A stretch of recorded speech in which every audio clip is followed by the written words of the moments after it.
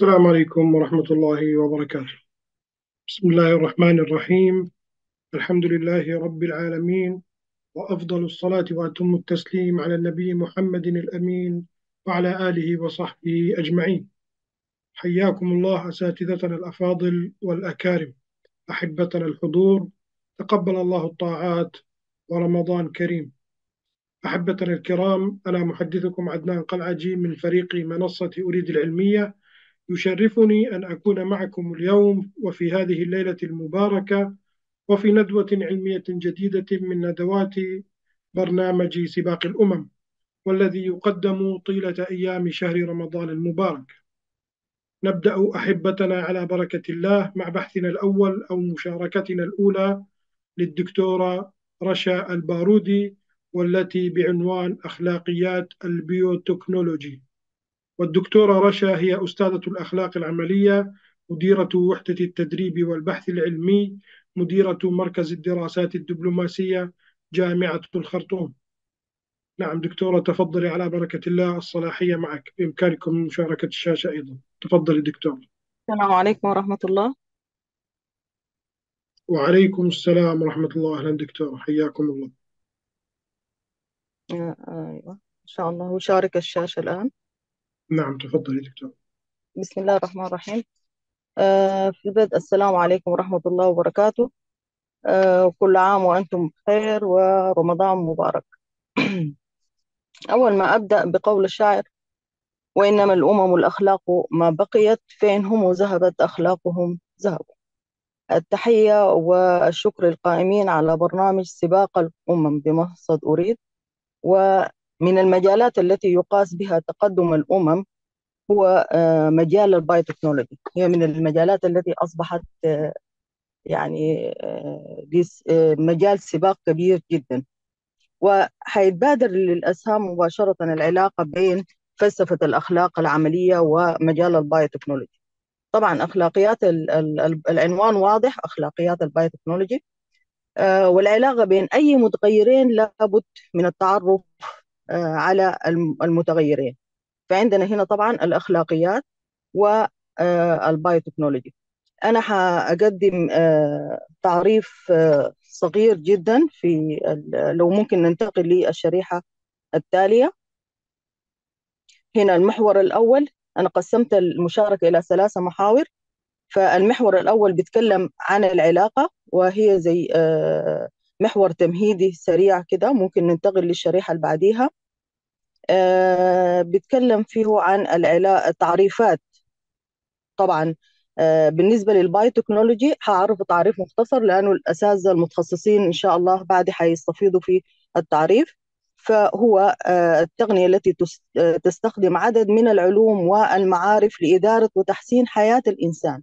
وليس حياته فقط وإنما كذلك بيئته المحيطة به. أما الأخلاق العملية فهي فرع من فروع فلسفة الأخلاق يهتم بأخلاقيات العلوم والمهن آه، يهتم بتطبيق النظريات في الواقع العملي وكذلك وضع واستنباط مبادئ ومعايير أخلاقية للقضايا اللي بتواجه الإنسان في حياته العملية واليومية. مثل قلنا أخلاقيات المهن البحث العلمي التعامل مع البيئة العلاقة بين الثقافات وأخلاقيات العلم هو ما يدخل فيه طبعا قضايا البايوتكنولوجي طيب بالنسبة لي العلاقة. ممكن آه، العلاقة هي علاقة ليست تحكمية. دائما آه، بسبب مثلا حوادث تاريخية في السابق كان هناك نظرة عدائية من بعض العلماء تجاه النظريات الأخلاقية أو تجاه الأخلاق عموما لارتباطها بالكنيسة. موقف الكنيسة تجاه العلم والعلماء في القرون الوسطى حيث هي كانت بتمثل وجهة النظر الأخلاقية الدينية وتعاملت بصورة منغلقة ومتعسفة كما يعلم الجميع في التاريخ تجاه العلم. لكن في عصرنا الحالي طبعا ظهرت النظريات الوضعية وظهرت آه، النظريات حتى في الأديان الأخرى مثل الدين الإسلامي كما نعلم وهو منفتح على آه، العلوم وعلى التطور. فأصبحت العلاقة آه، تكاملية إلى حد ما. آه، آه، وتلاشت أو قلت قليل جدا النظرة العدائية السابقة. الفلسفة عموما بتسعى لتحقيق تطور الإنسان وبيئته وما تصور أفلاطون وغيره من الفلاسفة للمدن الفاضلة أو فكرة الإنسان السوبرمان عند نيتشه أو مناهج البحث الخرجت من فلسفة العلوم أو جهود فلسفة الأخلاق في وضع استنباط المبادئ والمعايير اللي بتواكب هذا التطور العلمي إلا دليل على ذلك. ف آه، لكن كما قلنا إنه في بعض التحفظ قد يكون أنا هنا عاوز استنبط ب آه، أو أو أستشهد بمقولة الدكتور أحمد مستشير مستجير في مقدمة كتابه كتاب نهاية الإنسان عواقب الثورة البيولوجية لفوكوياما. يقول إن فوكوياما عندما رفض تقنية الاستنساخ رفضا قاطعا لم يعالج المسألة بصورة ناضجة كما فعل بعض المختصين. ويمكن القول أن المعالجة الناضجة انتهى إلى الآن كما فعل بعض المختصين انتهى هنا كلام الدكتور أحمد مستجير. فيمكن أن نقول أن المعالجة الناضجة لهذه المسألة يعني ليس رفض التقنية ابتداء. نحن نحتاج إلى معالجات ناضجة. هذه المعالجات الناضجة تكون من خلال تحكيم علماء الأخلاق ذوي الاختصاص. طيب بعد ما عرفنا التمهيد والعلاقة والتداخل بين المجالين يمكن أن ننتقل للمشكلات الأخلاقية في الشريحة التي تليها. المشكلات اللي هو ده يمثل المحور الثاني آه، المشكلات الأخلاقية الناتجة عن تطبيقات البايوتكنولوجي. آه، ننتقل إلى الشريحة التي تليها كما هو الحال. مع أي تقنية أو اكتشاف علمي فالبايوتكنولوجي طبعا لديه سلبيات وإيجابيات وإيجابياته كبيرة جدا. فلذلك نحاول عندما تظهر هذه السلبيات إنه نجد لها العلاجات عشان تستمر هذه التقنيه ويستفيد منها الإنسان.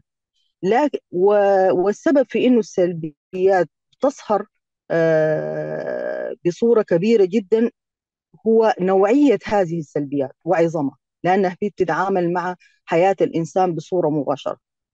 فمجالات أو الإشكالات كثيرة جدا اللي بتلاقينا في مجال البايوتكنولوجي لكن هنا أوردت بعض النماذج.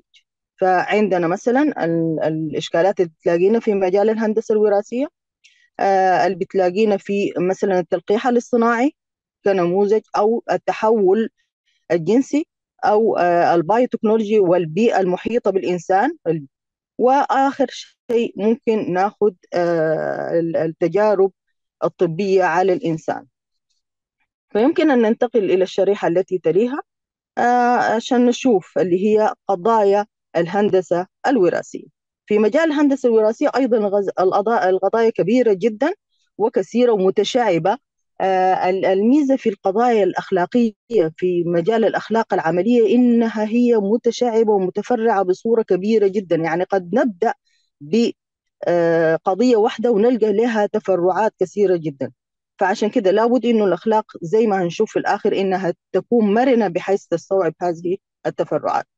بالنسبة للهندسه الوراثية طبعا عندنا في مجال الأغذية والأدوية هي حققت نجاح كبير جدا وهي مقبولة جدا بالنسبة للناس مثل التطورات التي حدثت في صناعة الأنسولين إنتاج هرمونات النمو لعلاج التقزم علاج عدد من الأمراض مثل سيولة الدم ومرض الكبد الوراثي وغيرها ومن منافعها مثل مواجهة الفيروسات المهددة للجنس البشري مثل الإيدز وغيره. لكن المشكلات الأخلاقية هي الحقيقية تظهر عندما انتقلت تطبيقات الهندسة الوراثيه وتمس حياته، يعني في مجال الأغذية إلى حد ما في مثل مشكلات الأغذية المعدلة وراثيا ونلقى إنه الشركات المحترمة آه، تبعد عنها هذه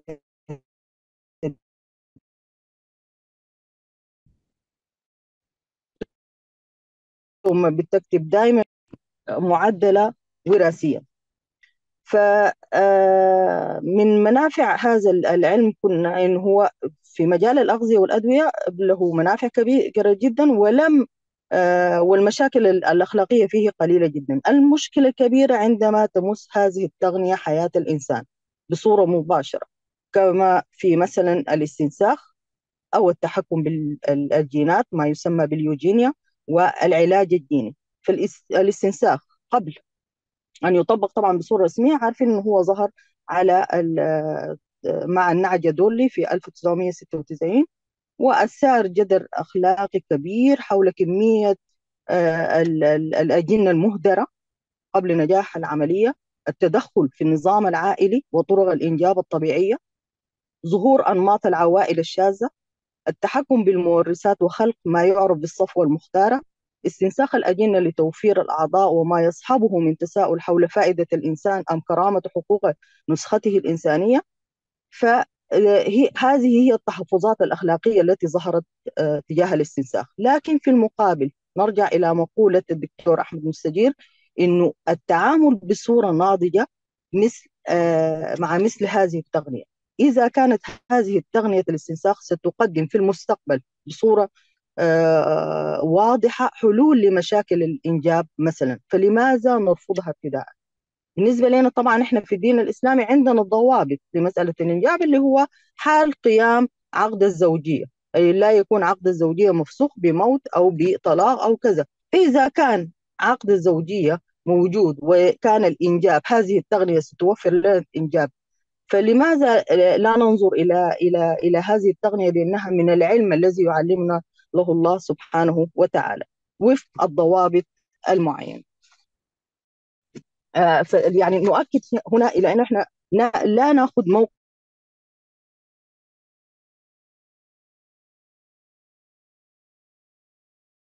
موقف سلبي مباشرة تجاه هذه القضايا لديها أو تسمى في بعض الأحيان باليوجينيا أو هو علم تحسين السلالات. هي من المشكلات المتوقعة يعني لاحقا من خلال إعطاء الفرصة للسلالات الأكثر صلاحية للتكاثر في مقابل السلالات الأقل صلاحية. السؤال الأخلاقي هنا من هو الذي يحدد صلاحية السلالة دون الأخرى؟ ولماذا لم يخلق الله مثلا سلالة واحدة ويأتي الإنسان ليفاضل بين هذه السلالات؟ مسألة تحسين الإيجينات أيضا لمقاومة آه، الأمراض ولصالح البشرية جميعا بصورة متساوية هو أمر مقبول. لكن ما يتم رفضه هو التحول التلاعب بهذه الجينات وفق أهواء سياسات معينة أو فئات معينة. آخر شيء في في الهندسة الوراثية اللي هو العلاج الجيني كذلك هو أمر مقبول ومرحب به إذا كان بيعالج مرض. إذا كان بيعالج مرض معين أو إذا كان بالنسبة لإنسان بالغ يستطيع أن يدلي برأيه. لكن من يحتجون بالتدخل الجيني بيحتجوا بمسألة التدخل في الأجنة. بيعتبروا أنه هذا انتهاك لحقوق الجنين وأنه الأب والأم يتدخلون في حقوق الجنين. طبعا هذا مردود عليه بأنهم الوالدين مسؤولين أصلا عن تكوينه ف وبالتالي مسؤولين عن تعديل الجيني وبالتأكيد لن يكون في ضرره من قضايا آه، البايوتكنولوجي القضية الثانية الشريحة الأخرى ممكن ننتقل لها. آه، اللي هي قضايا التلقيح الصناعي وهي طبعا معروفة بالنسبة لنا. الآن أصبح أمر شائع ومقبول طبعا في بداياته كان آه، وجه بالرفض. لكن الآن هو أمر شائع ومقبول. المشكلات الأخلاقية المتعلقة بتقنية التلقيح الاصطناعي هي مشكلة تأجير الأرحام وما يلحق بها من تحديد النسب من جهة الأم أو استغلال وإنهاك ال ال آه، آه، الرحم آه، أو أرحام الأمهات الفقيرات والصغيرات. في الغالب دي الفئة المستهدفة. ف لأنه بيدفع لها مقابل مادي فيمكن أن تتعرض لاستغلال أو استهلاك لأرحام هذه هذه الأمهات آه، الإنجاب غير المقنن أي بعد وفاة أحد الزوجين أو الإنجاب آه، الذي يتم بين الأسر الشاذة وال, وال والأفراد اللي هي الأسر الأسر بتتكون الأسر ممكن نقول ببساطة آه، كما تعرف المثلية. قد توفر لها هذه التغنية إنجاب بعض إنجاب الأطفال. الإنجاب المتأخر في حالة مثلا تقدم احتفاظ الأم بالأجنة الملقحة أو حتى آه، البويضات وكذا في بنوك المخصصة لذلك قد يعرضها لمخاطر الإنجاب المتأخر ويعرض الجنين أيضا للتشوهات. الخطأ الطبي اللي هو احتمال حدوث خطأ أو احتمال قصدي يعني يكون في بنوك حفظ الأجنة والبويضات والنطف مما يسبب اختلاط الأنساب. طبعا إحنا عندنا لها ضابط في في الإسلام إنه إحنا بي بي بنرجع إلى الطبيب الثقة. بنرجع دائما إلى الطبيب الثقة. فمثل هذه المشكلة محلولة لكن قد تكون في بعض الثقافات فيها مشكلة. القضية الثالثة هي قضية التحول الجنسي. أو أو في بعض الأحيان تسمى بالتصحيح الجنسي. هي نوع من أنواع العلاج. برضو ننظر لها بطريقة موضوعية. آه لحالات قد تعاني من خلل معين في تحديد الجنس بصورة واضحة. من خلال الفحوصات الطبية يتم تحديد الجنس الصحيح الذي ينتمي له المريض. وهذا العلاج قدم يعني حلول لبعض آه المرضى. لكن المشكلة الأخلاقية تظهر متى؟ عندما يستخدم هذا النوع من العلاج بصورة اختيارية أو وفقا لأهواء الناس. في الغالب ترتبط آه هذه القضية آه مسألة الرغبة في تغيير الجنس أو التحول الجنسي بترتبط بقضية النوع الاجتماعي. اللي هي النوع الاجتماعي طبعا النوع الجنسي اللي هو الذكر والأنثى والنوع الاجتماعي هو المرأة والرجل. فإذا كان في مجتمع خلينا من غير ما نقول حنفاضل رجل أو امرأة في مجتمع معين بفضل نوع اجتماعي معين فأفراد هذا المجتمع الذين لا ينتمون للنوع المفضل قد تحدث لديهم إشكالات نفسية تؤدي بهم في النهاية إلى استخدام هذه التغنية رغبة منهم للتحول للنوع المفضل. أو كما قلنا أي نوع من أنواع أي شخص لديه أهواء معينة أو شذوذ معين قد يستخدم هذه التغنية وهذا هو الأمر الغير المقبول من الناحية الأخلاقية. بالنسبة لما يليها القضية التي تليها قضية البايوتكنولوجي والبيئة. هذه من القضايا المهمة جدا. وإحنا هنا بناخذ لو لاحظنا بناخذ أمثلة مختصرة أو مفاتيح معينة. لكن هذه القضايا كل قضية من هذه القضايا هي قضية كبيرة جدا ولديها كثير من التشعبات.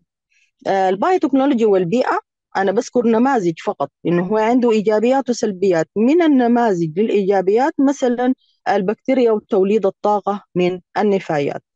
وأيضا التحكم في الأنواع الدخيلة من خلال الفيروسات مثلا كما حدث في أستراليا عندما ادخلوا نوع من الأرانب لم يكن موجود وانتشر بصورة كبيرة فحتى يتم التحكم في هذا العدد أصابوا هذه ال ال ال ال الأرانب بنوع من الفيروسات حتى لا يضغى العدد بصورة كبيرة.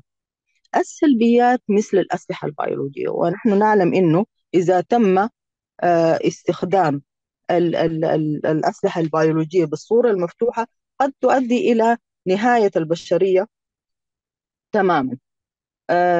أما استخدام في نوع آخر يعني من أنواع استخدام الأسلحة لكن بصورة خفيفة جدا مثل استخدام الفيروسات. استخدم الفيروسات ل بعض الأفكار الشاذة عند بعض الناس إنه مثلا محاولة لتقليص عدد السكان. كثير من قصص الخيال العلمي والتي قد تتحول إلى حقيقة وبعض الأفكار عند بعض العلماء إنه كي نحافظ على هذا الكوكب لابد أن نحافظ على توازن عدد السكان في هذا الكوكب. فجاءت مسألة نشر الفيروسات بين الناس لمحاولة تقليص عدد الناس حتى. يكون هناك توازن. وما الشائعات طبعا شائعات الصاحبة انتشار فيروس كورونا ببعيدة عننا. الشريحة التي تليها تتحدث عن التجارب الطبية. طبعا كما الهندسة الوراثية كانت هناك في مجال الحيوان والنبات والأغذية أي الأغذية والأدوية.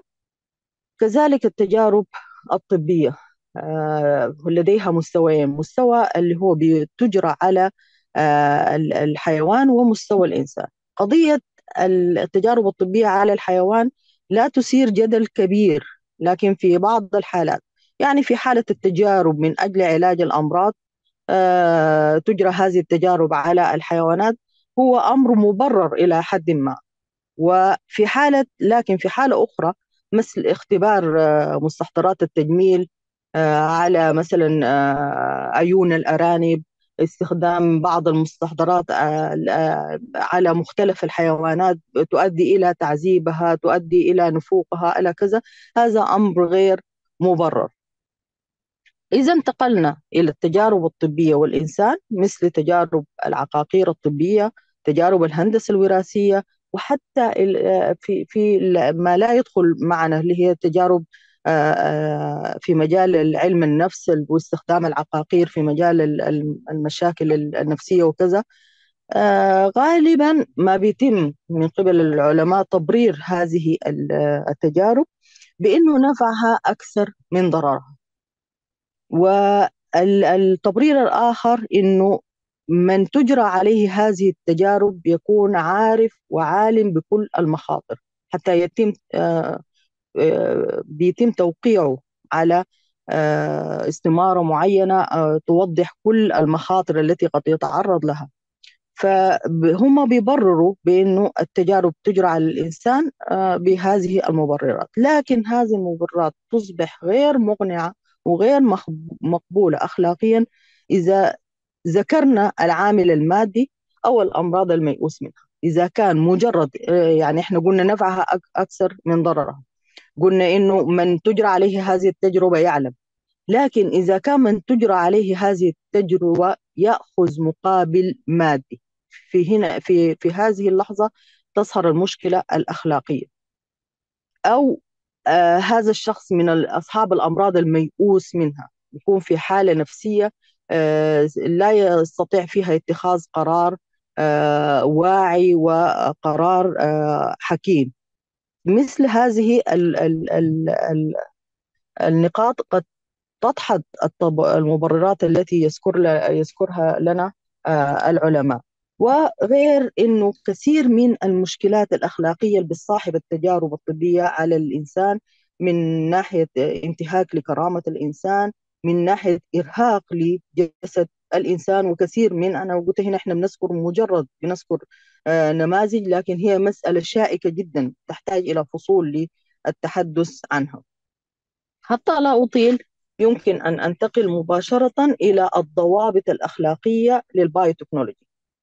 آه طبعا قلنا إنه هو ده نموذج مقترح للضوابط الأخلاقية من الصعب جدا إنه شخص واحد يجي يقول أنا بقدم آه نموذج متكامل لضوابط أخلاقية. إحنا عارفين إنه ال ال آه، المنظمات العالمية والجامعات ومعاهد البحوث كلها تعمل للخروج بضوابط وفي بعض الأحيان تعدل عليها وتضيف عليها وهكذا.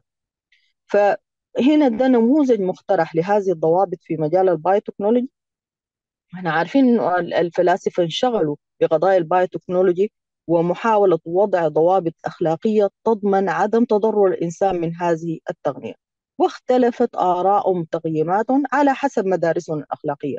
فمثلا من ينتمون لمذهب الواجب إحنا عارفين إنه المذهبين الأساسيين أو آه بالنسبة للأشخاص الغير عندنا مذهبين أساسيين اللي هو مذهب الواجب ومذهب المنفعة. آه، فمن ينتموا لمذهب الواجب يروا ضرورة الحفاظ على المبادئ دون إبداء أي مرونة تجاه القضايا ذات الاحتمالات المتساوية أو المستجدات المعاصرة. بينما أتباع مذهب المنفعة في المقابل بيركزوا فقط على النفع والنفع المادي دون الاهتمام بالتجاوزات الأخلاقية.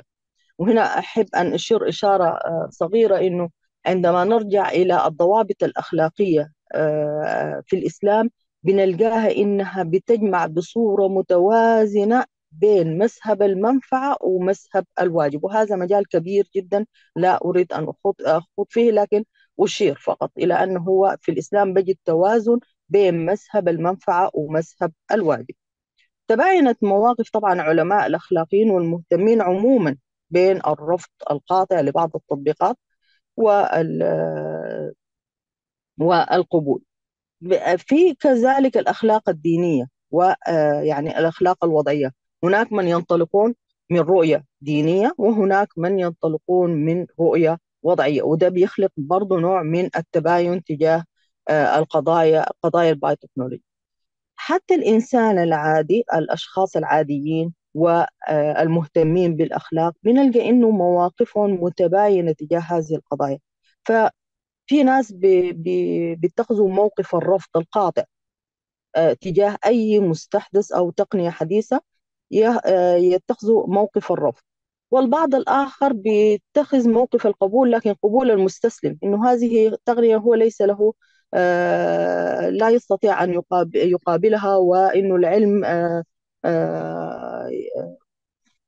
تطور بصورة لا نستطيع أن نجاريها وكذا وكذا فيأخذ يتخذ موقف قبول المستسلم. أما ما نرغب فيه هو الموقف الثالث الموقف المتوازن الموقف الأخلاقي المتوازن الذي لا يرفض مباشرة وإنما يدرس ويحلل ويأخذ الجوانب الإيجابية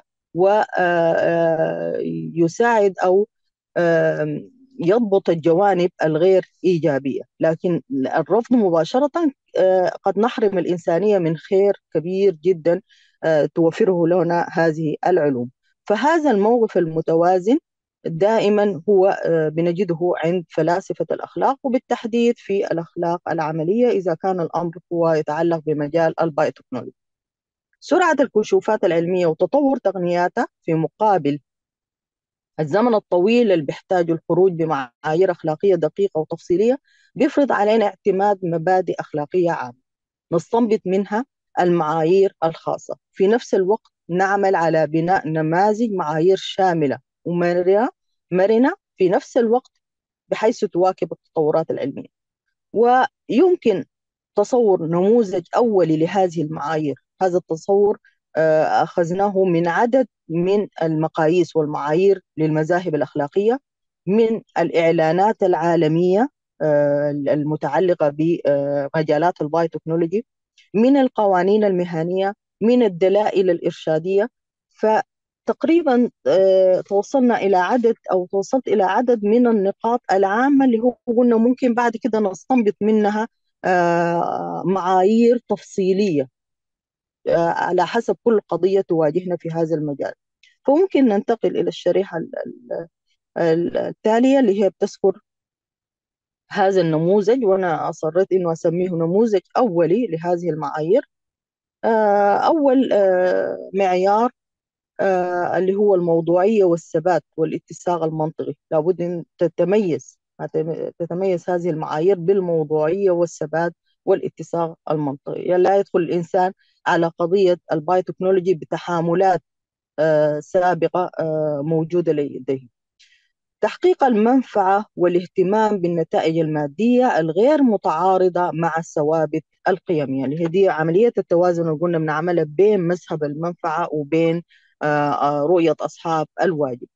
اعتماد تطور المعايير الأخلاقية لمواكبة التطورات البايوتكنولوجية ودي مسألة مهمة جدا إنه المعيار قلنا يكون مرن حتى يستطيع أن يواكب التطورات البايوتكنولوجية المبادئ المطلقة التي يضمن تطبيقها الثبات والوحدة. كذلك لابد عندما نضع معايير أخلاقية لابد أن نرتكز ونرجع إلى مبادئ مطلقة.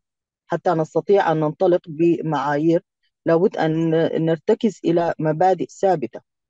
من من ضمن المميزات لهذه المبادئ العمومية والشمول إنه لا تكون نسبية تطبق على مجتمعات معينة أو على قضايا معينة ولكن لابد أن تتسم بالعمومية. المسلمات الأخلاقية أيضا لابد أن تكون هناك مسلمات أخلاقية نرجع إليها. بشرط أن تكون هذه المسلمات مثبتة بالتجربة وليس مسلمات هكذا مثلا أخذها الناس أو تعارف عليها الناس. آه الوضوح والدقة والصدق والشفافية. هذه هذه النقطة مهمة جدا بالذات في التعامل مع قضايا العلوم وبالتحديد قضايا البايوتكنولوجي. لابد أن تكون المعايير واضحة ودقيقة وتتسم أيضا بالصدق والشفافية حتى أن تستطيع تستطيع أن تواكب التفصيلات الموجودة في مثل هذه القضايا. الإلزام والجزاء وبالتحديد الجزاء المادي والمحسوس والظاهر حتى تكون هذه المعايير ذات قيمة أو ذات جدوى أو ذات فاعلية لابد من وجود الإلزام والجزاء. وطبعا بالتحديد الجزاء المادي والمحسوس حتى يستطيع تستطيع هذه المعايير تكون لها فاعلية في الواقع. وفي الأخير الشكر لمنصة أريد لإتاحة هذه الفرصة والشكر لكل من تابعنا. والسلام عليكم ورحمة الله وبركاته.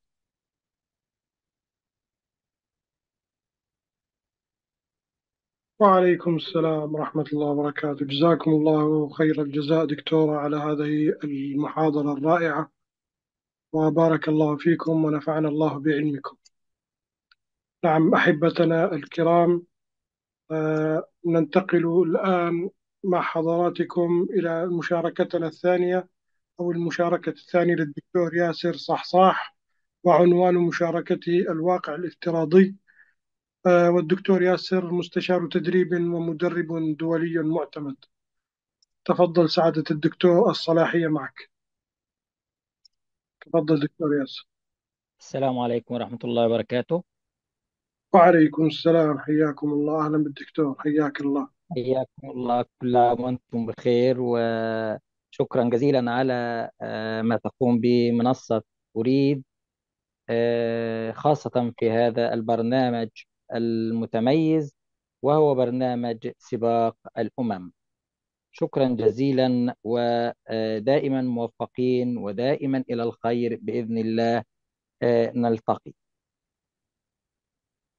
كل عام وأنتم بخير. في بداية الأمر بمناسبة الاستعداد لاستقبال العشر الأواخر من شهرنا المبارك شهر رمضان الكريم كل عام وأنتم جميعا بخير. أنا ياسر صحصاح من مصر. نلتقي على خير في مشاركتنا هذه والتي هي بعنوان الواقع الافتراضي. يمكنكم المشاركة أو أنا بحاول أشارك من عندي ما فيها مشكلة يعني. تفضل دكتور المشاركة من عندك أفضل يعني الله يكرمك يا رب.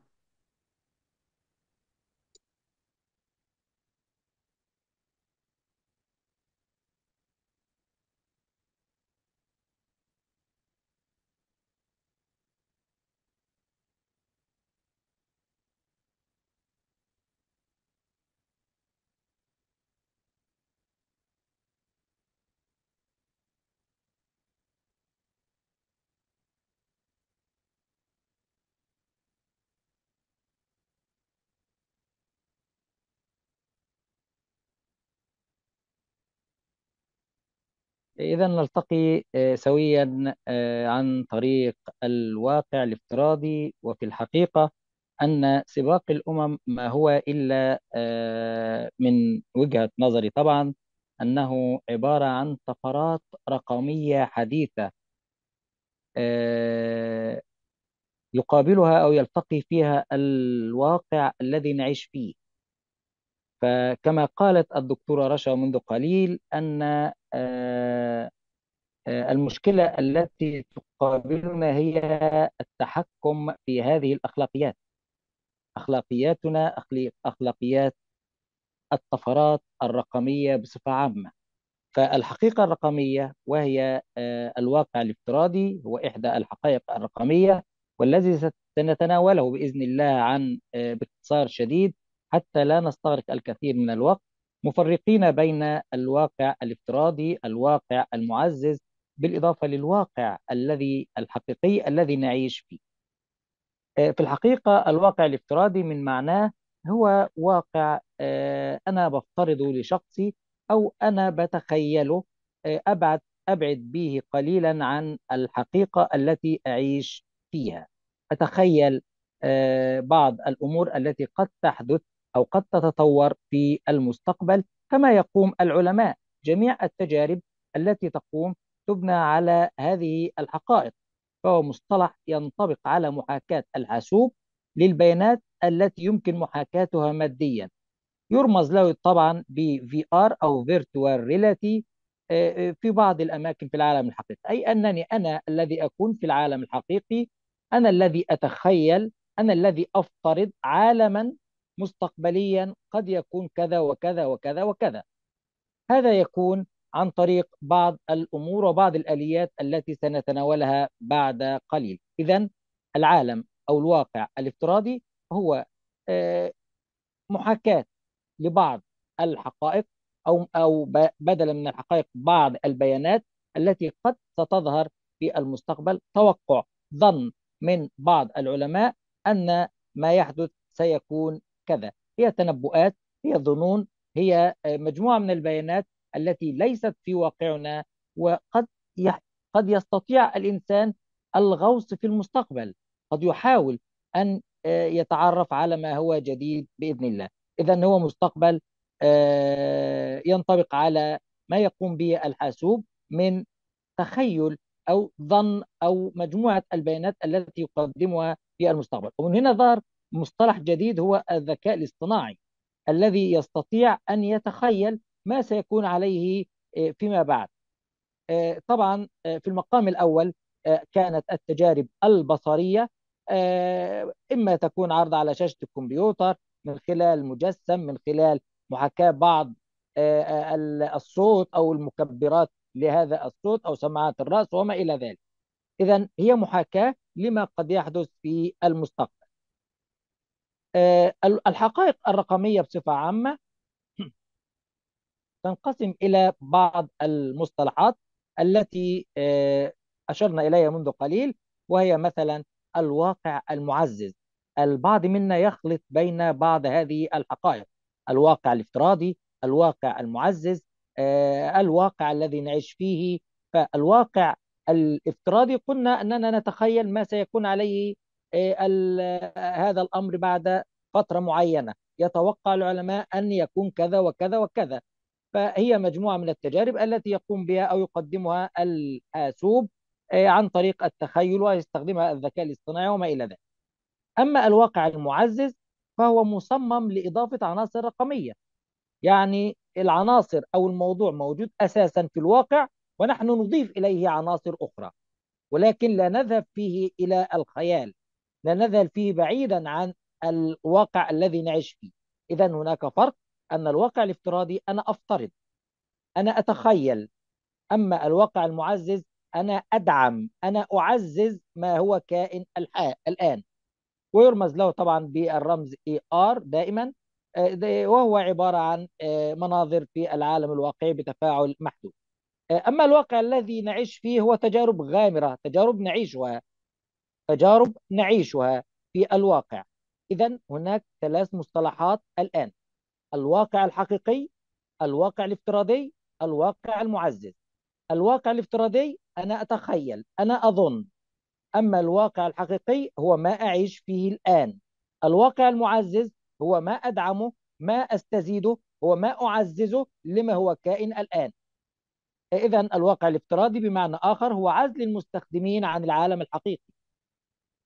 أنني أقوم بعزل من يستخدم هذا الواقع عن آه، العالم الحقيقي. آه، إذا هناك ثلاث مصطلحات كما قلنا وهي ملخص آه، كما نقول هذه بعض الأمثلة أو ملخص للواقع واستمراريته تعزيزه بمعنى آخر أو الافتراضي الواقع الافتراضي. قد يكون هناك عالم أو مصطلح مختلط من هذه الأمور يقوم بها الشخص أو يقوم بها العالم وما إلى ذلك.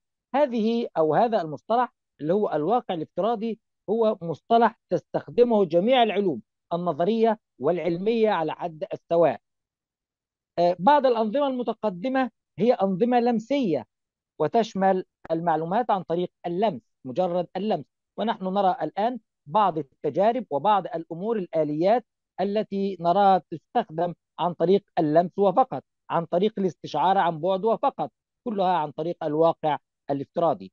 والمعروفة عموما باسم قوة رد الفعل في التطبيقات الطبية والألعاب الإلكترونية وغيرها. سنتناول هذه المجالات بعد قليل. علاوة على ذلك فالواقع الافتراضي يغطي بيئات الاتصال عن بعد. الواقع الافتراضي قد يكون مثلا آه، عن تخيل آه، لعملية جراحية لأحد الأطباء آه، يجرونها في المستقبل. ماذا سيكون شكلها؟ هل سيقوم بها الريبوت مثلا؟ هل سيقوم بها شخص معين مؤهل بطريقة معينة؟ وما إلى ذلك. سيقوم بها المعلم عن طريق إقامة فصل عن بعد ولا نستطيع أن نكون وجها لوجه معه. كل هذه حقائق وكل هذه يستعملها ويستخدمها الواقع الإفتراضي. كلها تعمل على إنجاح التجارب. التجارب الناجحة دائما تبدأ بالواقع الافتراضي دائما تبدأ بافتراضات. وهذه إحدى خطوات المنهج العلمي في التفكير وضع أو التحدث عن الافتراضات.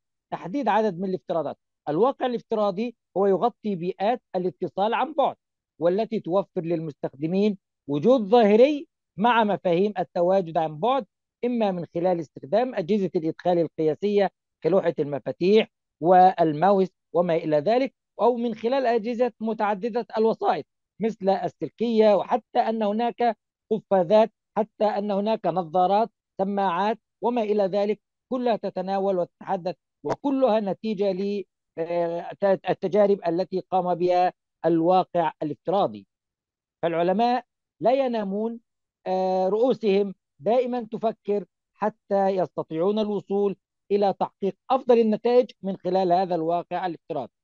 إن الواقع الافتراضي ينتج من سياقات شبه حقيقية فالواقع الافتراضي ليس بعيد كل البعد عن الواقع الذي نعيش فيه ولكن هو شبه حقيقي. هو قريب من الواقع الذي نعيش فيه. هو تطور للواقع من وجهة نظر العلماء. هو ينتج من سياقات شبه حقيقية واضحة وسهلة الفهم. هنا الطفرة الرقمية الذي نعيش فيها هي تتوقع. لماذا يجب البحث عن معلومة معينة في واحد من الملفات الكثيرة بين العديد من المجلدات؟ هنا يتدخل الواقع الافتراضي. عندنا الآلاف والمئات والملايين والمليارات من الملفات والمجلات أو المجلدات التي تختلف بعضها عن بعض. الواقع الافتراضي يتقدم هنا حتى يفترض ما سيكون عليه هذه التجارب أو هذه الملفات بدلا من إضاعة الوقت وخسر كثير من الوقت صارت الكثير من الوقت. هنا يتدخل الواقع الافتراضي لإنقاذنا من هذه الكم أو من هذا الكم الكبير من المجلدات الكثير عندما يمكننا الذهاب مباشرة سواء باستخدام الواقع المعزز كما قلنا أو الواقع الافتراضي إلى السياق الذي يتضمن تلك المعلومة. إذا الواقع الافتراضي يستطيع أن يصل بنا من أقصر الطرق. يستطيع أن يصل بنا في أقصر الأوقات حتى لا نستهلك الكثير من الوقت. إلى السياق الذي يتضمن تلك المعلومة. على سبيل المثال إذا كنت أريد أن أعرف النظام الكلاسيكي للأعمدة المستخدمة مثلا في الكولوسيوم وعلى أساس على أي أساس تم توزيعها بالنسبة للطوابق وما هي النسب بينهما؟ آه، آه، مثلا هذا مثال. إذا كنت أعرف أريد أن أعرف في مبنى ما نسب معينة آه، وأنا وأنا لم أشاهدها قط إلا أنني أستطيع عن طريق الذكاء الاصطناعي الذي يستفر الذي يستخدمه أحيانا كثيرة الواقع الافتراضي هو أن أستطيع أن أصل إلى النسب المتباينة بين هذا المبنى أو ما إلى ذلك.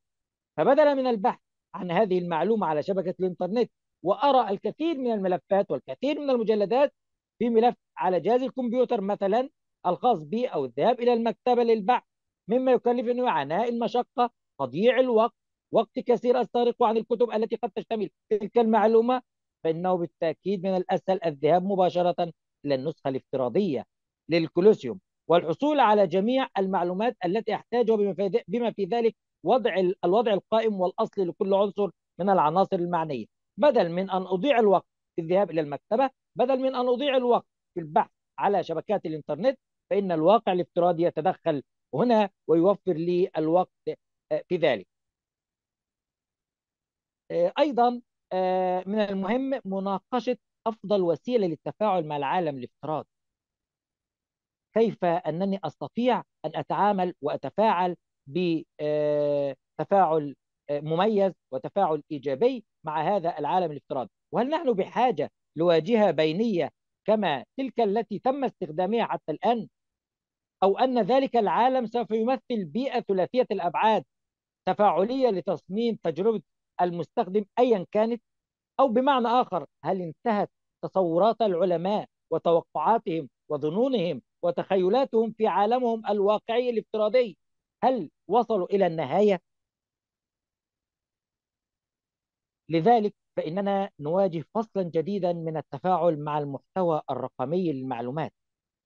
التفاعل الواقعي لي أو الرقمي للمعلومات لم ينتهي بعد وسيكون كل دقيقة وكل ثانية هناك الجديد الذي يضيفه العلماء من خلال الواقع الافتراضي ومن الصعب التنبؤ بما سوف يحدث لشبكة الواقع الافتراضي في المستقبل. كيف ستكون هذه الشبكة؟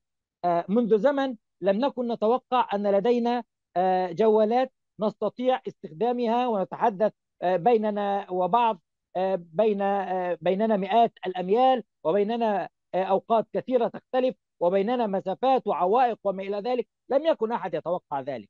لم يكن أحد يتوقع أن نصل بطائرة في خلال ساعات إلى أبعد مكان في العالم.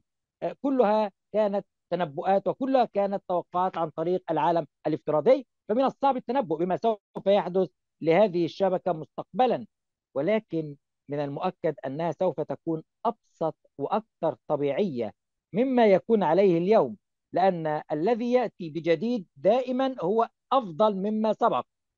دائما الجديد دائما الواقع آه، المعزز والواقع الافتراضي يسعون دائما لتحقيق أفضل النتائج. إننا ندرك واقعية العالم الافتراضي عندما ينقطع التيار الكهربائي أو خدمة الإنترنت العالم الافتراضي حقيقي كما هو العالم المصنوع من الطوب وأنابيب الحديد وما إلى ذلك.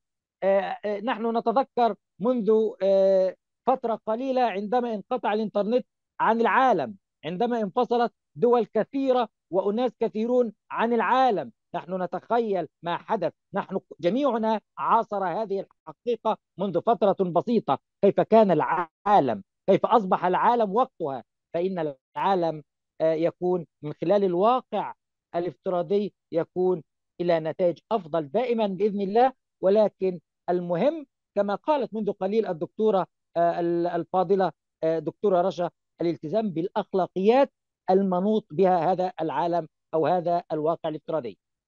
ولكن أكثر الناس يهتم بالتردد على أماكن اللقاءات والاكتشافات الجديدة ورؤية الأمور بالفعل الكثير منا مهتم بالأمور الجديدة بالأمور المستحدثة بالأمور الحديثة التي ابتكرها العلماء وتنبأوا بها إلا آه، أن آه، هذا الأمر لا يقف ولا ينتهي إنه في كل يوم في نمو من منظور مختلف. كل هذا يفتح الباب أمام نوع جديد من المكتبات حيث يمكن التجول بين المعلومات وبالتالي فالمكتبة والمعرفة بشكل عام يمكن أن تتحرر من جدرانها المادية. الآن تستطيع أن تكون لديك مكتبة إلكترونية على جهازك آه، مثلا المحمول على جهازك الكمبيوتر. آه، لا تستطيع أو لا تحتاج إلى الذهاب إلى مكتبة بين جدران مادية آه، بها كتب. تستطيع أن تبحث في دقائق عن أي معلومة تحتاج إليها. الأمر اختلف كثيرا عما كنا نحن عليه قديما. الذهاب هناك حيث يجتمع الناس وخصوصا إلى تلك الأماكن حيث يعيش الأشخاص التي لديهم معيقات مختلفة آه، كدور العجزة كالمعاقين مستشفيات السجون آه، الثكنات العسكرية. كيف سيذهبون إلى المكتبات المادية التي كنا نعرفها قديما؟ إن الوسائل الحديثة وفرت المشاق هذه كلها ومن وذلك من خلال الواقع الافتراضي. وبذلك يتشارك المواطنين افتراضيا في التصميم والاتصال وإدارة وتنفيذ العمل الثقافي. وباختصار فإن المستقبل هو تحويل المكتبة التقليدية التي بين جدران مادية إلى مدينة والمدينة الافتراضية إلى مكتبة. الآن العالم نقول قد تحول إلى مدينة صغيرة. بعد أن كنا لا نعلم آه، ما هذه الدولة كيف تعيش وهذا القرية كيف تعيش. الآن جميع الدول كلها تربطها شبكات بسيطة نستطيع التواصل في دقائق ونتعرف ونتعلم ماذا يكون هناك.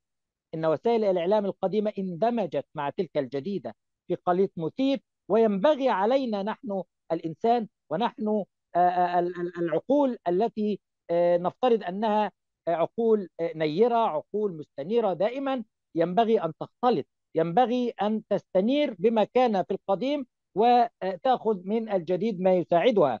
في خليط مثير للدهشة على سبيل المثال الإنترنت لم يؤدي إلى اختفاء الكتاب. ولكن بدلا من ذلك قد يكون السبب الرئيسي في تعزيز المكتبة. وقد يكون من الصحيح أننا لا نحتاج إلى الانتقال ماديا للتحقق من الموسوعات أو القواميس. لا نحتاج إلى الذهاب إلى المكتبة. لا نحتاج إلى الذهاب إلى آه، جدران المكتبة في مواعيدها المحددة من الساعة كذا إلى الساعة كذا. الآن طيلة الأوقات. في كل وقت أستطيع أن أدخل أي مكتبة على مستوى العالم أي مكتبة في أي دولة أستطيع أن أتوصل إلى ما أريده.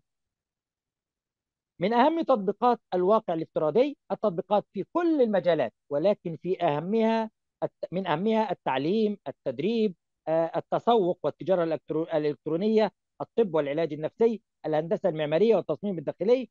آه، إن آه، تطبيقات العالم الافتراضي توجد في الكثير من الأماكن.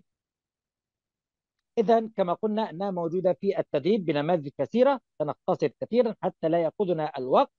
التعليم التطبيقات الترفيهية الألعاب الإلكترونية حتى المباني الافتراضية. أيضا قبل أن تكون أو قبل أن يصمم المهندسون آه، أي مبنى يفترضون أنه يكون كذا ويرسمون له صور افتراضية قبل أن يتم هذه آه، المباني أو هذا المبنى. أيضا ظهر كثيرا من التطبيقات الافتراضية من خلال المجال الطبي وكل ذلك هو سبب من آه، توقعات وظنون العلماء التي توقعوها وساهموا بها كثيرا. آه، الآن ننتقل إلى نقطة مهمة أخرى هي من أهم أدوات الواقع الافتراضي الأدوات التي يستخدم حقيقة هو لا أدوات محدودة لديه. الواقع الافتراضي يستخدم أي شيء وكل شيء ولكن من أهم الأجهزة التي أو الأدوات الافتراضية التي يستخدمها أو من نتائج الواقع الافتراضي التي يستخدمها. مثلا آه، أجهزة تلبس على الرأس آه، قفازات اللمس مجسمات الحركة المناظر متعددة الاتجاهات آه، مثلا ما يسمى بكهف البيئة الافتراضية الآلية أجهزة مساعدة تساعد نظام الحاسب الآلي جهاز النانو كلها أدوات ووسائل مهمة يستخدمها العالم في الواقع الافتراضي الذي يعيش فيه. كلها أدوات هي بعض الأدوات التي يستخدمها ولكن كما نقول أنه لا حدود بينية. لا توجد حدود بينية لا توجد أدوات معينة وفقط إلا أنه يتاح له جميع الأدوات ويستخدم جميع الأدوات حتى يصل إلى النتائج المرجوة أو التي ينشرها في الواقع حاولت أن آه، أستغل الوقت قدر المستطاع آه، لأن المشاركة طبعا أنا أعلم جيدا أن مقدارها 15 دقيقة ولذلك حاولت أن ألتزم بالوقت قدر الإمكان. شكرا لكم جميعا وكل عام بخير ورمضان كريم أعاده الله عليكم باليمن والخير والبركات. والسلام عليكم ورحمة الله وبركاته. وعليكم السلام ورحمة الله وبركاته. بارك الله فيك دكتور. جزاك الله عنا كل خير. ورمضانك كريم إن شاء الله. وتقبل الله الطاعات منا ومنكم. جزاك الله خيرا بارك. آمين آمين يا رب العالمين. شكرا جزيلا. الله يحفظك يا رب. نعم أحبتنا الكرام بارك الله فيكم. ننطلق الآن مع رحلتنا الثالثة وختام ندوتنا المباركة مع المشاركة الأخيرة للدكتورة طيبة غزوان محمد. وعنوان محاضرتها التكنولوجيا الحيوية. والدكتورة طيبة هي رئيس الشؤون العلمية ومحاضرة بجامعة ابن سينا للعلوم الطبية والصيدلانية كلية طب الأسنان. فلتتفضل مشكورة دكتورة ولكم الصلاحية. تفضلي دكتورة طيبة. بسم الله الرحمن الرحيم. السلام عليكم ورحمة الله وبركاته. السادة الحضور مع حفظ الألقاب أهلا وسهلا بكم. رمضان مبارك عليكم وتقبل الله طاعاتكم بإذن الله. شكرا على القائمين على برنامج سباق الأمم ومنصة أريد وأعرفكم عن نفسي أني دكتورة طيبة غزوان محمد تدريسية في كلية طب الأسنان جامعة ابن سينا العلوم الطبية والصيدلانية مسؤولة الوحدة العلمية وعضو في المجلس الاستشاري الصناعي. نبدأ محاضرتنا لهذا اليوم عن التكنولوجيا الحيوية.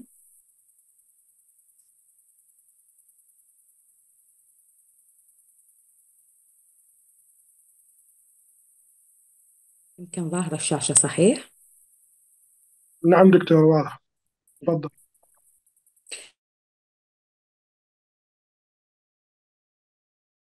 تطور بشكل كبير في الحقبة الأخيرة وبدأ يتطور ال biotechnology في مجالات كثيرة منها المجال الزراعة والصناعة والطب والبيئة وغيرها.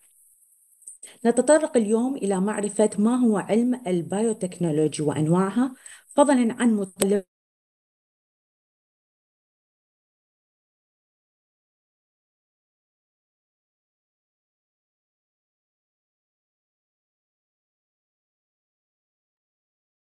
دكتورة طيبة الصوت غير واضح. عفوا دكتورة الصوت آه، الآن okay؟ إي إي نعم دكتورة الآن okay. دكتورة إذا في إشكالية عندك أو النت ضعيف تحبي أنا أشارك أنا ال- العرض التوضيحي؟ ما في عندي هسه أنا عرفته بس آه، أوكي يعني؟ إذا نعم صارت عندي نعم مشكلة؟ الآن واضح. نعم على بركة الله. إذا صارت مشكلة أنا رح أخبرك إن شاء الله. وأخيرا الحمد الآفاق المستقبلية والتطورات الحديثة للتكنولوجيا الحيوية. طبعا ماذا تعني التكنولوجيا الحيوية؟ التكنولوجيا الحيوية هو مصطلح طبعا آه، يطلق على فرع العلوم يستخدم لمعرفة آه، والتقنيات وطرق الهندسة الوراثية.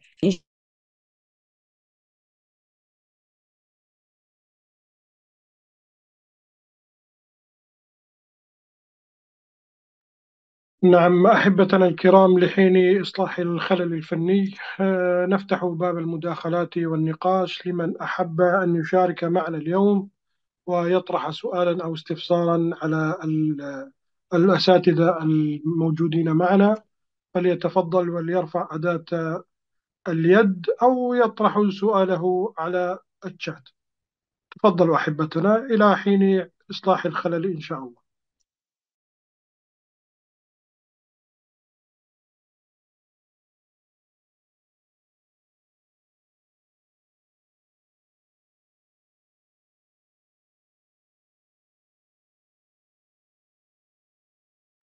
نعم معنا الدكتور أو الأستاذ عادل تفضل. السلام عليكم ورحمة الله وبركاته. وعليكم السلام حياك الله. معك دكتور مهندس عادل البدوي الشباسي من كلية الهندسة جامعة عين شمس. حياك الله تفضل. شاكرين يعني لكم الشكر والإحترام والتقدير على ما تقدمونه من محاضرات وموضوعات قيمة ولكن لي تحفظ كبير على ما يعني يطلق عليه حديثا والناس كلها متوجهة ليه ال artificial intelligence والواقع الافتراضي والاعتماد على جميع منصات آه الإنترنت والحاجات ديت فيها محاذير كثيرة وخصوصا آه ان إحنا في يعني خليني أقول يعني بدون تعميم في كثير من الدول لسنا المتحكمين في كل ما هو منها يعني في أغلبية هذه المنصات. وبالتالي من أحد المحاذير أن ما يعني ما يتم إدخاله أو تغذية هذه البرامج من معلومات مش إحنا المتحكمين فيها. فممكن بطريقة أو بأخرى يمكن كما يقولون ده السم في العسل. وبالتالي يعني الباحث أو يعني اللي بيعمل رسالة أو بحث ممكن ياخد المعلومة ويعتمد على إنها موثقة ولكن يقع في المحظور إن هي ملهاش توثيق وقد تكون مغلوطة. الحاجة الثانية هي عدم قدرتنا على التحكم في كل ما هو موجود وبالتالي ببساطة جدا بنعتمد في كل مصادرنا وفي كل تعاملاتنا على ما تقدمه لنا الشركات الأخرى أو الهيئات الأخرى. قد يكون لها جوانب إيجابية في التعليم والتعلم وإتاحة بعض المواد العلمية زي الفيديوهات التعليمية أو الحاجات المحاضرات المسجلة وما يشابه ولكن يجب أن يكون عندنا الحس أو الحذر في الأمان من هذه المنصات. وأشكر لكم تعاونكم تعليق صغير بس. أنتوا في الشات كاتبين للتسجيل في برنامج سباق الأمم. أنا حاولت أسجل فيه أكتر من مرة لكن هو بيديني رسالة إن هو طلبك مرفوض لأن الإيه؟ التسجيل المجموعة مجموعة الوصف بتاع سباق الأمم مكتملة أو يعني فل فأرجو بس إن إيه؟ العلم بهذا الموضوع. وشكرا لكم جزيل الشكر. وكل عام وأنتم بخير بمناسبة شهر رمضان الكريم. بارك الله فيك جزاكم الله خيرا بارك الله لك. نعم معنا أيضا الدكتور أحمد تفضل. دكتور أحمد. السلام عليكم. عليكم السلام حياكم الله. كل عام وأنتم بخير وعد الله الأيام علينا وعليكم بخير إن شاء الله. نسأل الله أن يكون رمضانكم طيب وتقبل الله الطاعات حياكم منا الله. إن شاء الله يا رب العالمين. أولا بسم الله ما شاء الله يعني المنصة كل كل فترة بتزداد شعبية وبقى لها صوت وبقى لها صوت مسموع. وأحلى حاجة إنها منصة عربية خاصة بينا. الجزء الثاني اللي عايز أتكلم فيه بالنسبة لل biotechnology إحنا محتاجين نأسس مؤسسات بحثية متخصصة. ال biotechnology عشان تبقى برضو يمكن أنا درست شوية ال biophysics لطلاب الجامعة فشايف إنه عشان نبقى متمكنين من ال biotechnology لازم يبقى عندنا ناس متخصصة في الفيزياء في الكيمياء في ال... في الأحياء ومتداخل مع بعض multidisciplinary ويمكن ال... ال... الإنترنت هو ليه مساوئ طبعا وكلام من ده لكن لكن ميزة المهمة فيه إنه أصبح العالم open book كتاب مفتوح. تقدر تتابع وتقدر تحصل على المعلومة الدقيقة وعندك مصادر المعلومة الدقيقة موجودة. المجلات العلمية الدولية المحكمة تبع Scopus ScienceDirect آه، Taylor فيرر Francis Taylor وهكذا. ففي آه، مجلات علمية محكمة دوليا دي بتحصل منها على المعلومة اللي انت عايزها وتقدر تتابع التطور اللي بيحصل في المجالات المختلفة وعلى رأسها مجال البايوتكنولوجيا اللي أصبح ليه أهمية كبيرة جدا في الفترة الحالية. فأنا أتمنى إنه في المنصة عندنا يبقى توجهات أكثر نحو ال الأشياء ال ال المتعددة التخصص زي ال biotechnology يكون في المنصة برضو عندنا مش عارف نعملها إزاي بس يبقى في كوميونتي معينة متخصصة في المجالات دي. وربنا يوفقنا ويوفقكم إن شاء الله وكل سنة وحضراتكم طيبين. شكرا جزيلا. شكرا شكرا دكتور الله يحفظك يا رب. آه بفضل من الله والحمد لله تم إصلاح الخلل والآن الدكتورة طيبة معنا. فتتفضل دكتورة جزاكم الله خيرا. تفضل الدكتورة الصلاحية معك. السلام عليكم مرة ثانية. حياكم الله أهلا دكتورة تفضل. آه نرجع نكمل المحاضرة. آه وصلنا للتكنولوجيا الحيوية الزرقاء. طبعا تعتمد التكنولوجيا الحيوية الزرقاء من آه اسمها الزرقاء على استغلال الموارد البحرية لإنشاء منتجات وتطبيقات ذات أهمية صناعية مع الأخذ بنظر الاعتبار أن البحر طبعا يمثل أكبر قدر من التنوع البيولوجي الاحتواء على الكثير من من الأسماك ومنها الروبيان وسرطان البحر اللي يحتوي على مادة اللي يطلق عليها الكيتوزان هذا السكر. نعم. نأتي على التكنولوجيا الحيوية الرمادية. تستخدم وتشير التكنولوجيا إلى التطبيقات البيئية وتركز على الحفاظ على التنوع البيولوجي إزالة الملوثات باستخدام ال microorganism والنباتات لعزل مواد مختلفة والتخلص منها مثل المعادن الثقيلة والهيدروكربونات. من الأمثلة عليها هي شركة ال MicroGen Biotechnology ومقرها في كارلو واللي ساعد في تنظيف الأراضي الملوثة في الصين.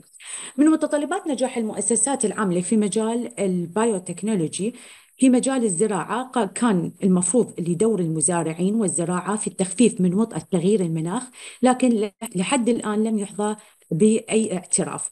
لكن يستطيع المزارعون أن يساهموا بشكل بسيط بتكديس الكربون في التربة وتحسين من خصوبتهم. في نفس الوقت من خلال ما يسمى بال trees fertilizer تستطيع غابات المانجروف نعم آه، شرحنا التكنولوجيا الحمراء والبيضاء والرمادية. فلننتقل إلى الشريحة بعد إيه متطلبات نجاح المؤسسة. اللي بعدها؟ لا اللي بعدها إيه. متطلبات نجاح المؤسسات العاملة. طبعا في المجال الزراعي كان المفروض لدى المزارعين والزراعة في التخفيف من وطأة تغيير المناخ لكن لحد الآن لم يحظى بأي آه، اعتراف. فيستطيع المزارعون ولو بشكل قليل أن يساعدوا في تكديس الكربون بالتربة وأن يحسنوا من خصوبة التربة من خلال ما يسمى بالأشجار المخاصبة أو ال trees fertilizer تستطيع غابات المانجروف تكون لها فعالية عالية جدا في احتباس الكربون ممكن أيضا لمحطات الغاز أيضا تساعد بالاستفادة منها في المنازل. نهج الخلية تفضل مش مشكلة. تعد نهج الخلية الواحدة في الطريقة واحدة للحصول على بيانات نسخ عالية الدقة وأيضا لها القدرة على إحداث ثورة في دراسة نمو النباتات وتطورها ولاحظ أنه في السنوات الأخيرة ظهر تطور كبير في مجال تكنولوجيا آه، ومجال البيولوجية النبات حتى يدرسون المعلومات النسخية للخلايا الفردية عن طريق تسلسل الحامض النووي للخلية الواحدة. ممكن أيضا آه، لها رؤية جديدة في كيفية تسريع الأساليب الناشئة للأبحاث المتقدمة في مجال تكنولوجيا الحيوية النباتية في المستقبل القريب. في المجال الطبي أيضا يجري تطوير علم الوراثة الدوائي الدوائية مع المزيد من المعلومات تكون أكثر شمولا تم الحصول عليها الإنسان من خلال مشروع الجينوم. يمكن أن تختلف استجابة المريض لعوامل العلاج الكيميائي المعطاة لمرض السرطان باختلاف الوراثة. فيهدف علم الوراثة الدوائي إلى استخدام المعلومات حول هذا التنوع للتخطيط للعلاج مع تقليل السمية والاستجابة تكون أفضل. ركزت طبعا دراسات سابقة بالغالب على تعدد أشكال النيوكليوتيدات المفردة لكن على نطاق واسع من المهم النظر في التنوع الجيني في جميع الجوانب البيولوجية وبيولوجية مسارات الدوائية. طبعا في أوروبا يعتمد نظام الوقاية من الأمراض والرعاية الصحية الشخصية على تفاصيل فحص المريض آه، ضرورة خلق رؤية بالخدمات الصحية من خلال التركيز بمجال تكنولوجيا المعلومات والاتصالات خاصة الخدمات الصحية والوقائية. نظام الوقاية من الأمراض يعتمد بالمرتبة الأولى على وصف تفصيلي للفرد مثل السريرية جزيئية تصويرية معتمدة على أجهزة الاستشعار.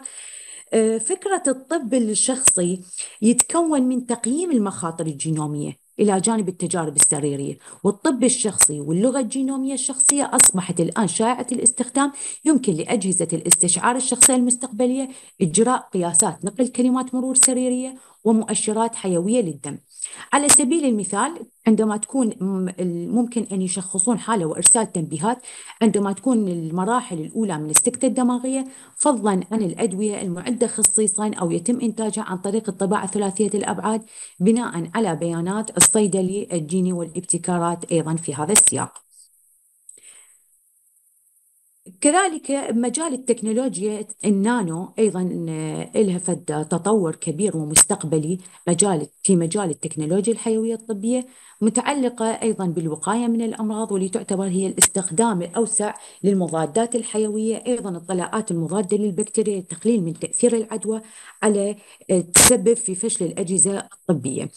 آه، أيضا نلاحظ أن تكنولوجيا النانو أيضا يوفر أدوات لتركيب أسطح المواد بتقنية النانو للزراعات الطبية بهدف تقليد مبيد الجراثيم منها بعض أنواع الخصائص النانويه السطحيه لمختلف أنواع الحشرات واللي توفر أوراق القدمين والقلقاس واللوتس التنظيف الذاتي ومبيد أيضا للجراثيم.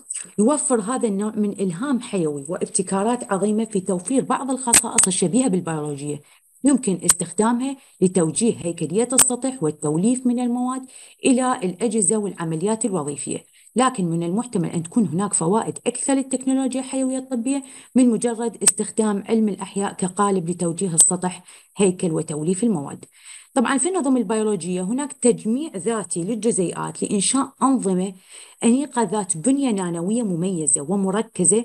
من هذه الأنظمة البيولوجية ذات البنية النانوية هو تجميع أغشية ثنائية الطبقة من الدهون الفسفورية توفر فتح حجيرات لترشيد الوظيفة العاملة للكائنات المعقدة مثل إيش؟ النباتات والحيوانات فضلا فضلا عن توفير بيئة لتثبيت البروتينات الغشائية المساعدة بالاستشعار والتشغيل وظائف البيولوجية للخلايا. طبعا في آه، أيضا هاي مكمل إلها هي مكونات الخلايا البيولوجية تعتبر الأساس نقل الأيونات والجزيئات بين الخلية والبيئة المحيطة بها داخل الجسم تدعم في قدرة الخلايا على المشاركة بالسيطرة الفسيولوجية على الجسم. في المجال الشريحة الثانية في المجال البيئي والمجال الصناعي طبعا التطور السريع بالصناعة جانب زيادة نمو السكان أدى إلى تفاقم استهلاك كميات كبيرة من الفحم والنفط والغاز الطبيعي وموارد مياه عذبة في جميع أنحاء العالم مما أدى إلى تدهور بانبعاثات الكربون نقص الطاقة والمياه وهذا يعتبر هو تحدي مستقبلي كبير أمام تنمية المجتمع البشري حيث من المتوقع أن يواجه العالم نقص بالمياه بنسبة 40% بحلول عام 2030 إذا وصل استهلاك الموارد المائية بشكل مفرط. نظرا لأن المياه ضرورية بضرورة الرفاهية وازدهار المجتمع البشري في كل من الحياة اليومية والتصنيع الصناعي. عمليات وأنظمة معالجة مياه الصرف الصحي والفعالة مطلوبة بشكل عاجل لحماية صحة الإنسان وبيئته.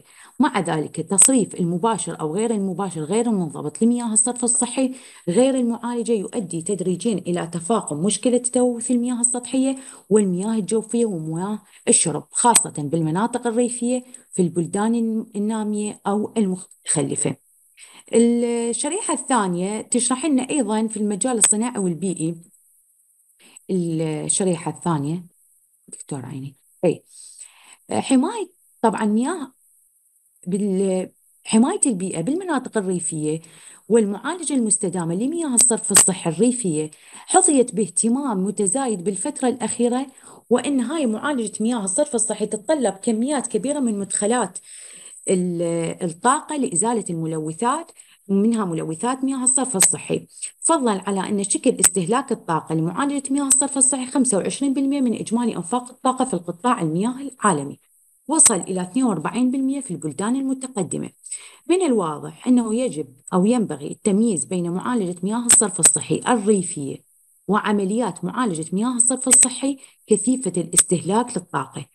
إضافة إلى أنه في المناطق الحضرية يجب فصل مياه الصرف الصحي المنزلية أو البلدية القادمة من المدن عن مياه الصرف الصحي الصناعية بسبب معايير التصريف الصارمة أو القوانين واللوائح البيئية. في حين مياه الصرف الصحي المنزلية المستمدة من المناطق الريفية عادة ما تكون مختلطة مع المياه القريبة وهي هاي فد مشكلة كبيرة. طبعا مياه الصرف الصحي أو الزراعي الناتجة عن مصانع الصغيرة أو المزارع معروف أيضا مياه الصرف الصحي المنزلية من المناطق الحضرية يمكن جمعها عن طريق شبكات أنابيب بلدية كثيفة في المدن من ثم معالجتها وتنقيتها بواسطة محطات معالجة مياه الصرف الصحي من خلال نظام مركزي. تكلفة وأنفاق نظام معالجة مياه الصرف الصحي البلدي طبعا باهظة الثمن و80% من الاستثمارات المطلوبة تشارك في جمع مياه الصرف الصحي غير مناسبة لعلاجات لمعالجة مياه الصرف الصحي الريفية. على عكس في المدن تكون أنظمة معالجة مياه الصرف الصحي مركزية ومفيدة وممكنة ليش؟ بسبب كثافة السكان. شبكات أنابيب بينما بالمناطق الريفية تكون منخفضة عدد السكان تكون القرى صغيرة غير مطورة الأسر تكون قليلة. واختلاف المناطق الريفية غير متاحة لبناء شبكات الأنابيب البلدية وأنظمة معالجة مياه الصحي المركزية بدون إدارة تكون وإشراف صارم. يتم تصريف كميات كبيرة من مياه الصرف الصحي الريفية غير المعالجة أو المعالجة بشكل غير صحيح بشكل مباشر أو غير مباشر إلى بيئات المياه القريبة مثل الأنهار والبحيرات من خلال الصرف المفتوح. طبعا التحديات اللي تواجه التكنولوجيا الحيوية من بينها أول شيء الأمان. يجب ضمان سلامة استخدام ال biotechnology وعدم تأثيرها على البيئة وعلى النظم الحيوية. الأخلاقيات كما تطرقت الدكتورة شيم آه، دكتورة رشا يجب وضع فد إطار أخلاقي قوي لاستخدام ال biotechnology وضمان سلامة المسار الأخلاقي للأبحاث والتطوير. الجودة يجب ضمان جودة ال biotechnology والحفاظ على الدقة والموثوقية في في النتائج. التنظيم يحتاج القطاع الحيوي إلى تنظيم قوي مراقبة صارمة لضمان السلامة والموثوقية بها. التكلفة تعتبر أيضا التكلفة عامل مهم في استخدام البايوتكنولوجي ويجب العمل على تخفيض التكاليف وجعلها في متناول أيدي الجميع. التعاون الدولي يحتاج العمل في مجال التكنولوجيا الحيوية إلى تعاون دولي قوي لتبادل المعلومات والخبرات وتطوير الابتكارات بشكل أفضل وأسرع. الآفاق المستقبلية والتطورات الحديثة لل biotechnology طبعا تعد التكنولوجيا الحيوية في المجال الحيوي يشهد تطورات مستمرة وابتكارات جديدة متوقع أنه تستمر التطورات في مجال ال biotechnology وتؤدي إلى اكتشافات جديدة وتطبيقات مبتكرة آه، تحل العديد من المشاكل العالمية مثل نقص الموارد الغذائية تلوث البيئة وأمراض وراثية. ويعمل العلماء في الوقت الحالي على تطوير تقنيات الجينوم الاصطناعي اللي تسمح بتعديل الجينات بدقة عالية وتؤدي هذه التقنيات إلى اكتشاف علاجات جديدة أمراض الوراثية تحسين جودة الحياة ممكن تطور لنا الأطعمة والأدوية وتهجن النباتات والحيوانات وتعزز خصائصها فضلا عن استخدام البكتيريا في مجال مثل إنتاج الغذاء ومعالجة النفايات في النهاية تعد التكنولوجيا الحيوية مجال حيوي يعد بالعديد من الفرص والتحديات. يمكن أن تساهم في تحسين الإنسان والبيئة وتوفر حلول مستدامة للمشاكل العالمية. مع استمرار التطورات والابتكارات مستقبل التكنولوجيا الحيوية يبدو أنه واعدا ومشرقا. طبعا شكرا جزيلا لمنصة ريد وعلى القائمين على هذا البرنامج. شكرا لإصغائكم وآسفة على الخلل اللي صار بالإنترنت. بس تعرفون يعني إحنا في العراق دائما الإنترنت مو كلش. ورمضان كريم عليكم وعاد الله عليكم. بكل خير والسلام عليكم ورحمة الله وبركاته. شكرا جزيلا مرة أخرى. شكرا شكرا دكتورة بارك الله فيكم. رمضانكم إن شاء الله كريم وتقبل الله الطاعات. بارك الله فيكم. نعم أحبتنا الكرام آه، نفتح مرة أخرى باب النقاش وعلى عجال. يعني نطلب من حضراتكم أن أنه من يريد أن يطرح سؤالا أو استفسارا فليكن مقتضبا. بارك الله فيكم. راح نأخذ إن شاء الله مداخلة أو مداخلتين ومن ثم ننتقل إلى طريقة الحصول على الشهادة. فمن أحب أن يسأل أو يستفسر عن شيء ما إما أن يطرح السؤال في الشات أو أن يرفع أداة اليد لإعطائه الصلاحية. تفضل أحبتنا من أراد أن يسأل سؤالا فليرفع أداة اليد. تفضل.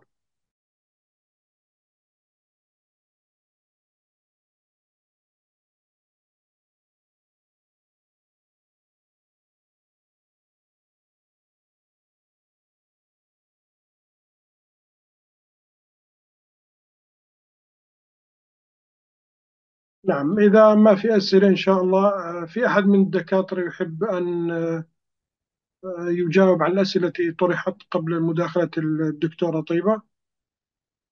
دكتور ياسر دكتور رشا؟ أي مع حضرتك مع حضرتك أنا دكتور ياسر مع حضرتك؟ نعم تفضل دكتور تفضل الله يحفظك يا رب. آه، هو تعليق سريع بس على آه، أخونا طبعا والأستاذ الدكتور عادل الشباسي. آه، أتفق معاه طبعا في كلامه اللي هو قاله من شوية إن هو الآخرون بيتحكموا في المنصات وبيتحكموا في يعني التجارب وهم لهم السبق في كل المجالات. هذا صحيح بالفعل ولا يختلف عليه اثنان. ولكن من الذي جعلهم يفعلون ذلك؟ نحن. إن الوقت قريب يمكن من 100 سنة ولا حاجة يعني وقت قريب مش بعيد قوي أوروبا كانت تتعلم باللغة العربية كانت تترجم الكتب وتترجم المؤلفات العربية وكانت بتتعلم باللغة العربية. كانت تأخذ من العلماء العرب. عندما كنا قوة عندما كنا قوة فكرية عقولنا الآن إما إنها تهاجر في الخارج أو حتى إذا لم تهاجر فعقولها تموت بعد فترة أفكارها تموت بعد فترة. إذا نحن من يترك الملعب لغيرنا.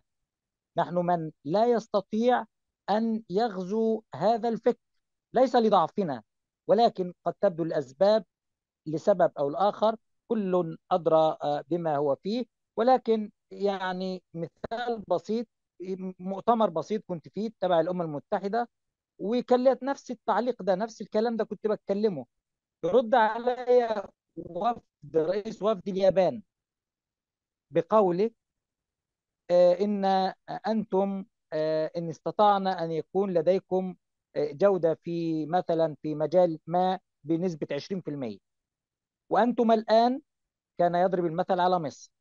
وأنتم الآن يا مصريين تستطيعون غزو العالم في اليابان وفي أمريكا وفي أوروبا ومعظم العرب معظم العقول العربية هي التي آه، ترأس المؤسسات الدولية في داخل هذه البلاد وهي التي تبني وهي التي تعمر وهي التي تقوم بكذا وكذا وكذا في بلدانهم. هذا على كلامك كلام رئيس وفد اليابان والذي يرد علي ويحدثني بذلك. فماذا لو أنتم أصبحتم بنسبة 50% آه، بنسبة جودة بنسبة تقدم أكثر بنسبة 60% ماذا ستفعلون بنا؟ هذا هو كلام رئيس وفد اليابان. إذا التقصير أنا آه، أعوله علينا نحن فنحن ندرس ونستطيع الذهاب إلى الخارج. عندما نعود نكرر ما يقوله الخارج بدلا من أن نضعه لنتقدم عليه ونبني عليه بدل من ذلك فنحن آه، نكرر ما يقوله الغرب وندرس ما يقوله الغرب ولا نحاول أن نجتهد. أين اجتهاداتنا؟ أين آه، تجاربنا؟ أين آه، اختراعاتنا؟ أين منتجاتنا نحن؟ نحن لا نملك أقواتنا جميعا. نحن نتحكم فينا غيرنا لضعفنا ووهننا. أنتم غثاء كغثاء السيل كما قال الصحابة مع النبي صلى الله عليه وسلم. لذا أتفق مع الدكتور عادل ولكن أقول علينا دور كبير ينبغي القيام به. نحن فالمنصة تمتلئ بالعقول النيرة بالعقول المستنيرة. فلماذا لا يتبنون اختراع؟ لماذا لا يتبنون منتجات؟ لماذا لا يغزون العالم بفكرهم؟ أين نحن من كل هذه الأفكار؟ إن هذه المنصة فخر لنا وللعرب أجمعين. منصة أريد منصة عربية خالصة هي فخر للجميع. لماذا لا يكون لدينا الكثير من المنصات مثل هذه؟ بدلا من أن تكون في بلاد أوروبا أو أمريكا أو غيرها لماذا لا تكون في بلادنا نحن العربية ونستطيع أن نغزو من خلالها العالم؟ شكرا آه، لحسن استماعكم وآسف للإطالة وتحياتي للدكتور عادل الشباسي. شكرا جزيلا لمنصة أريد. والسلام عليكم ورحمة الله وبركاته. شكرا شكرا دكتور ياسر. بارك الله فيك. جزاكم الله عنا كل خير. نفع الله بكم. نعم آه، هل يوجد مداخلة أخرى أو تعقيب من أحد الدكاترة؟ إذا ما كان في سؤال سننتقل إن شاء الله أحبتنا الكرام سننتقل مع حضراتكم لشرح طريقة الحصول على الشهادة لهذه الندوة. نعم أحبتنا الكرام تم وضع رابط الحضور والشهادة في الشات وسنقوم الآن مع حضراتكم بشرح مفصل لعملية الحصول على الشهادة. واسمحوا لنا أن نشارك مع حضراتكم الشاشة. نعم أحبتنا الكرام عند الدخول على محرك البحث جوجل وكتابة منصة أريد العلمية سوف تظهر لنا بالشكل الواضح أمامكم. ولمن كان مسجلا أو عضوا في المنصة فقط يضغط على تسجيل الدخول فيطلب منه الإيميل وكلمة المرور. أما لمن لم يلتحق بالركب فبإمكانه الالتحاق الآن من خلال تسجيل حساب جديد.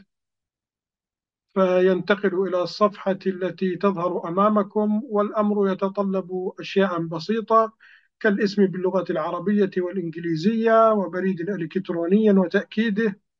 ثم كلمة المرور وتأكيدها واختيار الدولة التي نحن فيها ومن ثم الضغط على زر التسجيل. فنصبح رسميا أعضاء في المنصة كما يوجد في أعلى الشاشة شرح مبسط لعملية التسجيل. ننتقل بعدها مباشرة إلى الصفحة الرئيسية للمنصة والتي تظهر أمامكم بهذا الشكل أو ما يسمى طبعا الحائط فهذه الصورة الصفحة الرئيسية للمنصة. ندخل على سباق الأمم. زر سباق الأمم. برنامج سباق الأمم في منتصف الشاشة. سباق الأمم. فيحولنا مباشرة إلى الصفحة الرئيسية للبرنامج والذي يظهر أمامكم بهذا الشكل. بإمكانكم التجول فيه ومشاهدة جميع الأقسام وقاعدة وقاعة الزوم وطريقة التنفيذ والمشاركين كمتحدثين وجميع الندوات المباشرة كما تظهر أمامنا الآن والجلسات الحية عفوا وجميع الندوات التي قدمت أيضا. نختار منها من أعلى الزاوية الجلسات. موجود في أعلى الشاشة أو أعلى الصفحة الجلسات. نضغط عليها فننتقل مباشرة إلى الندوات التي نحن بصددها. نختار منها رقم عشرة وهي الندوة التي نحن بصددها. الندوة رقم عشرة أو رقم عشرة الجلسة رقم عشرة. فننتقل مباشرة إلى الصفحة الخاصة بالندوة. وهنا فيديو تعريفي بالندوة. ومن ثم في أسفل الشاشة الندوة العلمية البايوتكنولوجيا تعديل الحياة. نعم أحبتنا فنضغط على الندوة يذهب مباشرة إلى الصفحة صفحة تحميل الشهادة. بإمكانكم الضغط على تحميل الشهادة الإلكترونية فيطلب منكم كود التفعيل وهو ستة أرقام نبدأها بخمسة صفر صفر ثم خمسة صفر صفر خمسمائة ثم خمسمائة. أكرر الرقم حتى يكون واضحا أمامكم. خمسة صفر صفر خمسة صفر صفر خمسمائة خمسمائة.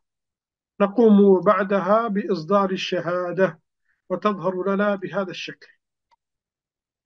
وتجدون فيها الاسم وأيضا عنوان الندوة.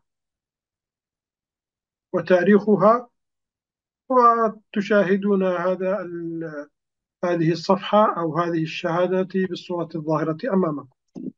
أحبتنا أيضا آه، آه، سوف ننبه إلى أن المنصة سترفع التسجيل الخاص بهذه الندوة على على القناة الخاصة بمنصة أريد